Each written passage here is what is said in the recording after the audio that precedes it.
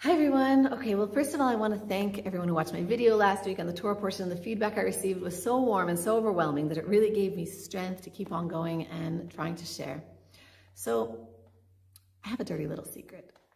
Since the beginning of the war, so many friends and members of our fellowship have been sending me beautiful psalms, referring me to different chapters of the psalm, saying, read this, it'll give you strength. And this psalm gives me strength, so maybe it'll be powerful for you. And you know, my kids are so good about this. My little kids, they don't go to bed with like little kid books anymore. They each fall asleep with a book of Tehillim, a book of Psalms in their little hands. They don't ask for fairy tales anymore. They just want to say Psalms together for the captives and for the soldiers. They're so good, and I want to be good too.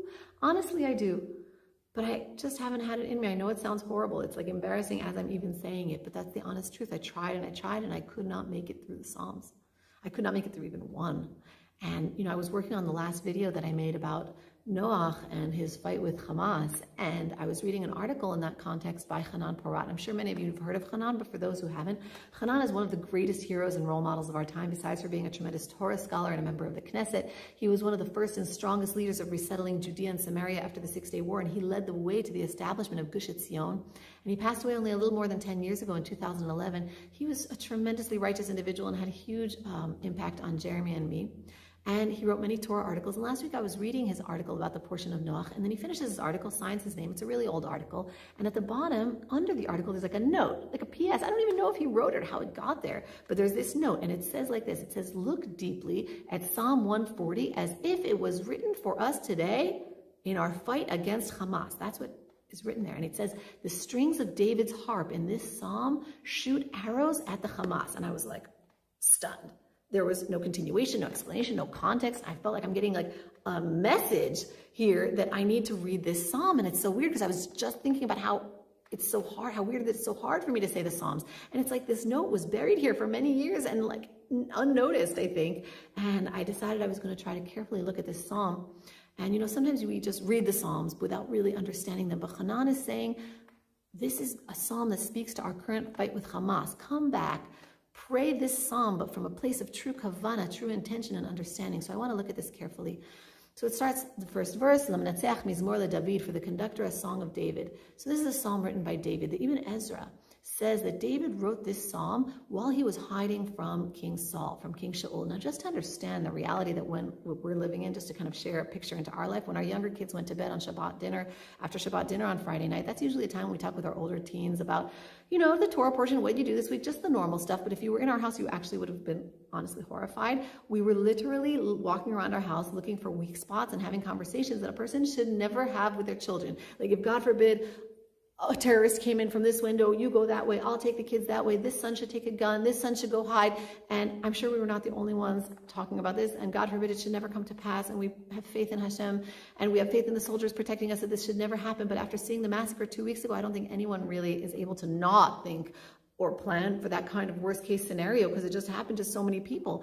And this is an actual conversation and we're debating suddenly, well, is it better if, God forbid this happened, to try to run into the safe room and lock ourselves in, but then be stuck inside and kind of vulnerable and concentrated together? Or should we run to the caves that are behind our house, beneath our house?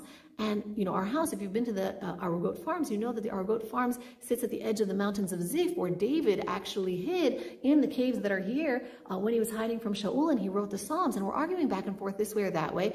And one of our sons says, okay, you know what, just in case, I'll go down tomorrow to the caves and I'll put some food and water in there so that we can make a run for it if we have to without needing to carry a bag. And just understand like the meaning of the Bible and our actual modern lives, I said to myself, oh my God, are we actually making practical real life considerations about going to hide from murderous terrorists God forbid, in the actual caves where David himself hid from murderous Shaul. Like your ears don't believe what they hear your mouth saying. And then I started to try to think what it felt like to be David at that time. On the one hand, he's been already anointed by Samuel, by Shmuel. He knows the end of the story. He knows Hashem's will for the Jewish people is to create a kingdom of David that will be a light to the world, to build the Beit HaMikdash, the temple.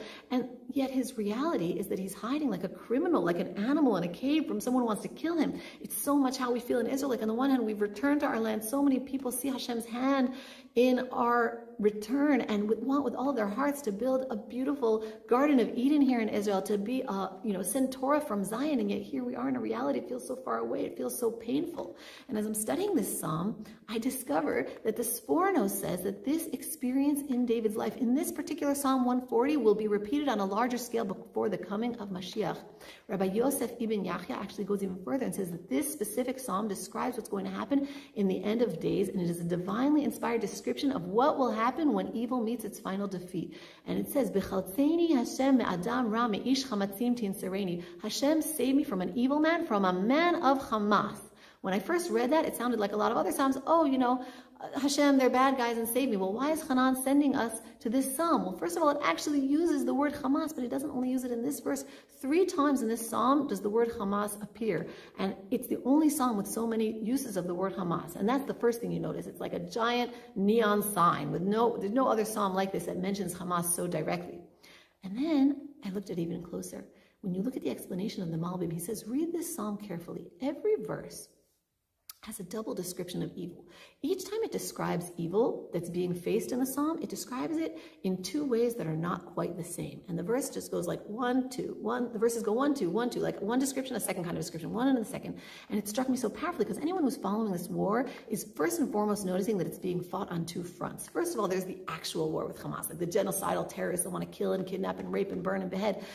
But there's also the battle beyond the physical battle that if you were paying attention, you see is being waged by a whole other type of people. People that would have told you just a few weeks ago that the biggest problem in the world is hurting people's feelings by, you know, not respecting their pronouns or calling them the right gender or some kind of microaggression or something that, you know, doesn't feel good.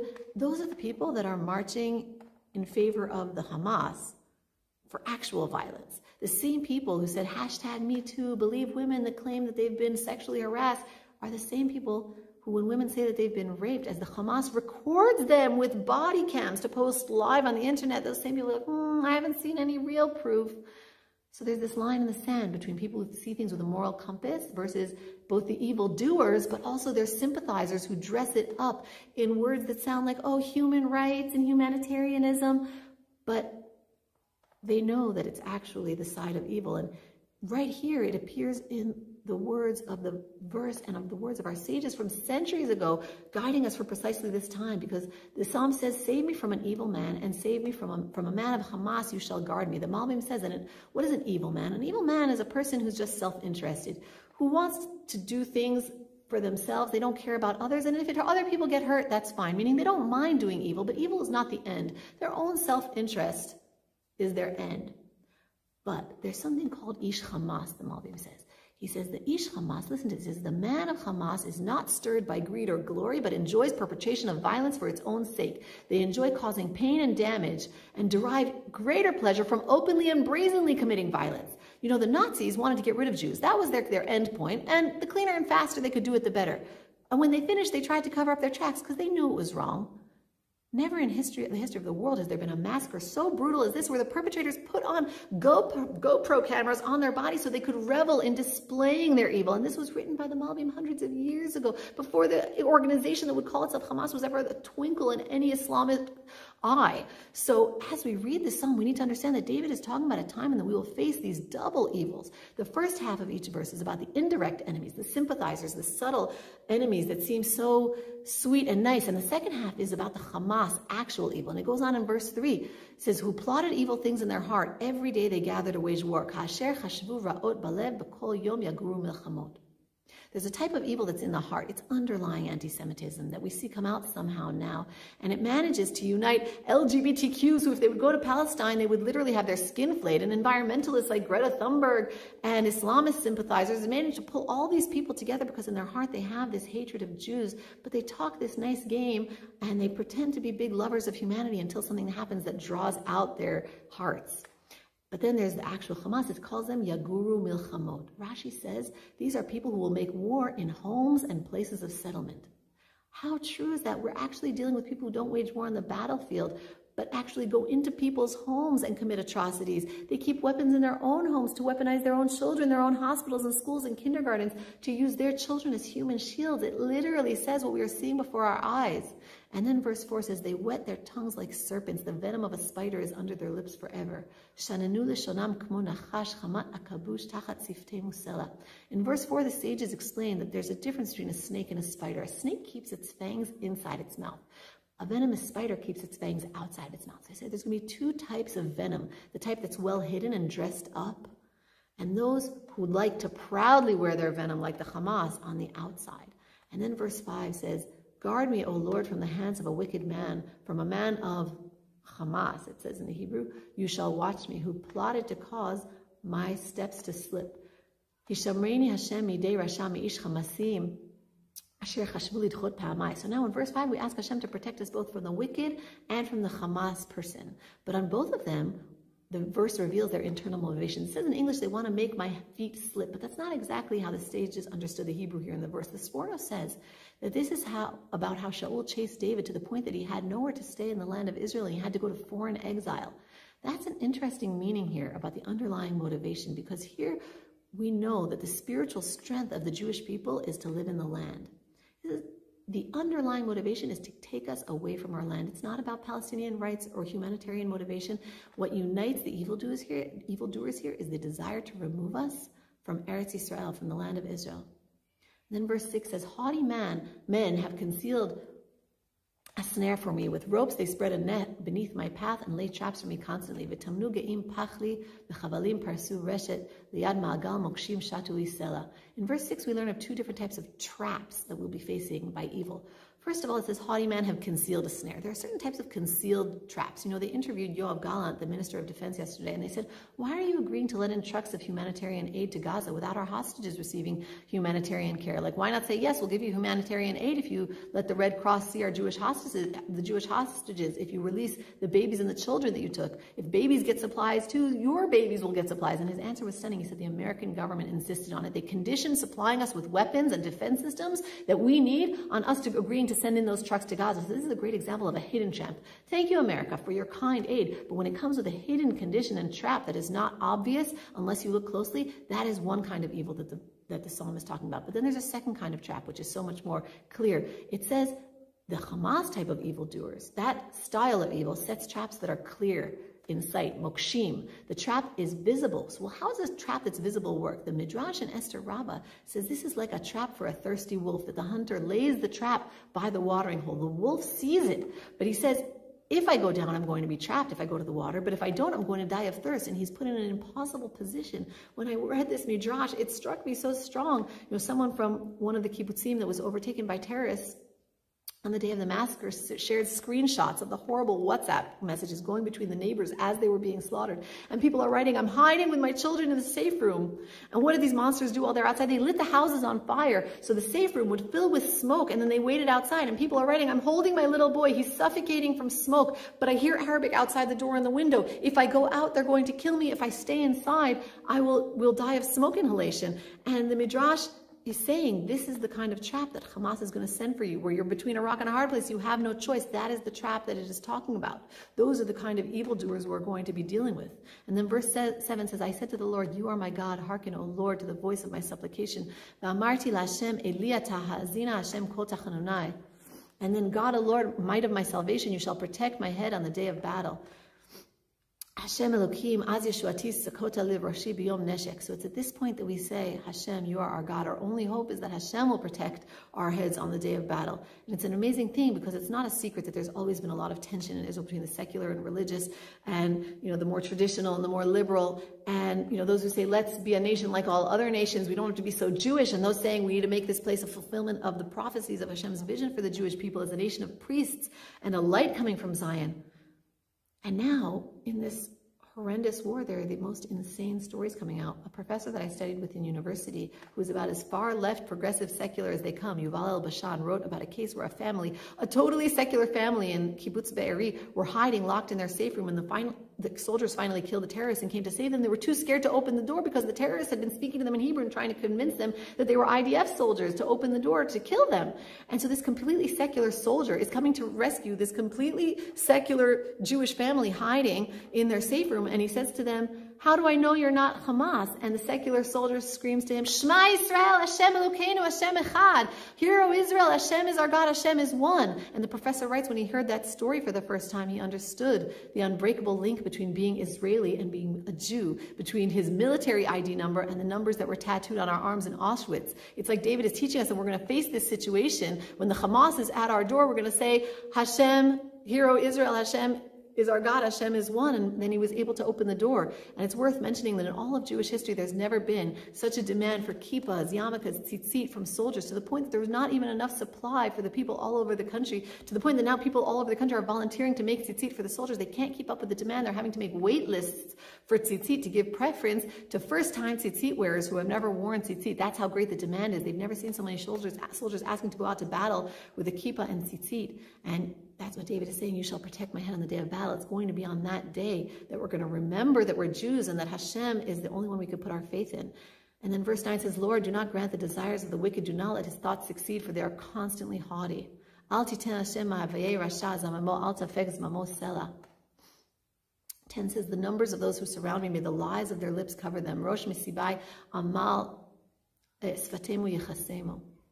Here it seems that we're asking Hashem not to let our enemies' plans come to fruition, that they should be smothered with their own lies. And it's interesting, the word used here to describe the thoughts of our enemies. It says zamamo, which is the same root word used to describe false witnesses, edim zomemim, that do what false witnesses do. They claim they saw someone doing a terrible crime, like say, like, oh, I saw Simon commit a murder. And they're doing that so that Simon would get the death penalty falsely. So they're actually the real killers, right? Like those false witnesses, meaning it's not just that the evil that we're going to face are going to lie, but they're going to attribute to someone, to us, the actual evil that characterizes them. Like Israel is so cautious to avoid civilian casualties, even when dealing with the most cruel people. And then our enemy claims like a perverse, perverse accusation that Israel bombed a hospital when we, not, the hospital was not only not bombed, but it turns out that the bomb that blew up next to it was actually shot by the Arabs themselves.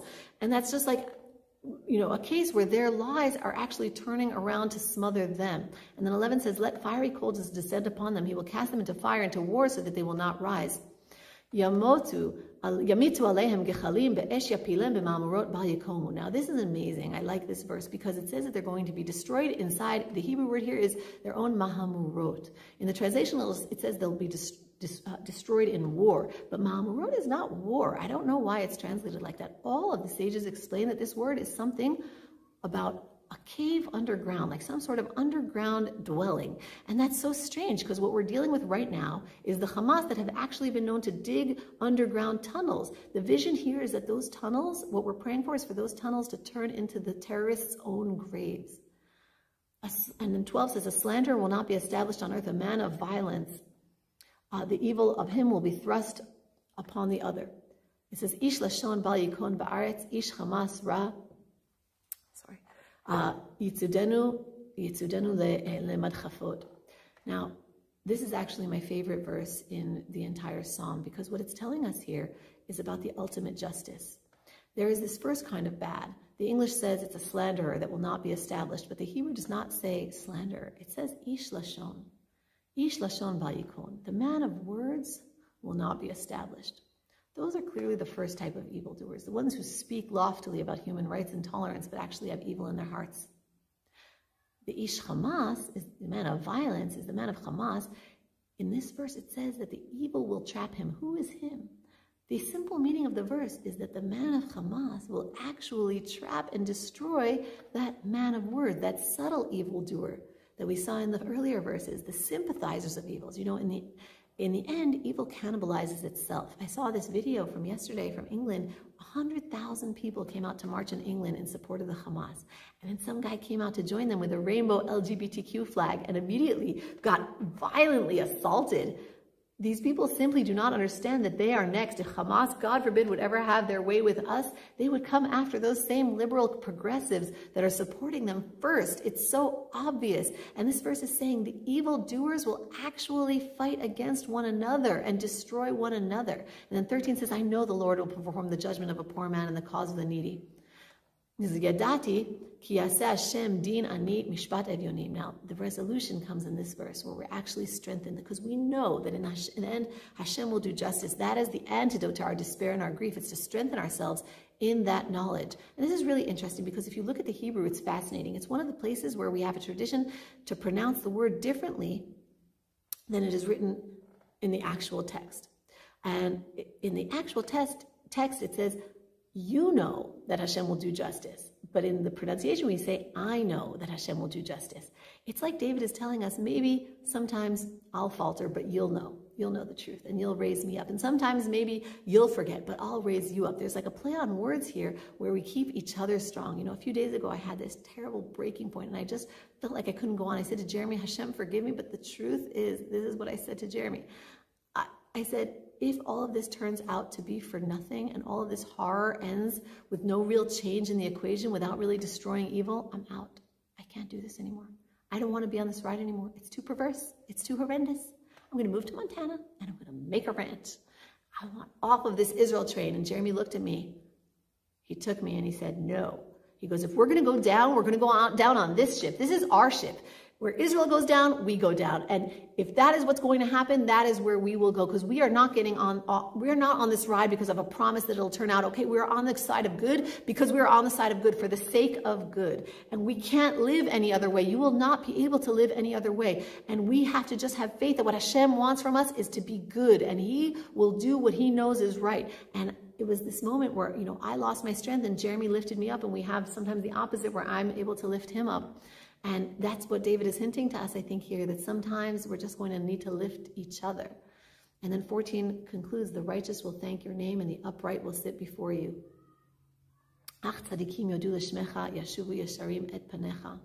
Of course, the righteous will thank you, Hashem, but the righteous are not going to be alone. Being righteous is a tall order. Very few of us are perfectly righteous. But the fight is going to be the line in the sand between two sides of the world. You don't have to be a Jew to know where to stand anymore. You don't have to be particularly righteous to know where to stand anymore. It's enough to be upright. The Hebrew says yashar, someone with a straightforward common sense and morality who know, will know where to stand. And please, with the help of Hashem, we can, you know, now pray for a speedy defeat of evil and for Hashem's mercy on the captives and the soldiers and for the wounded and for all of Israel.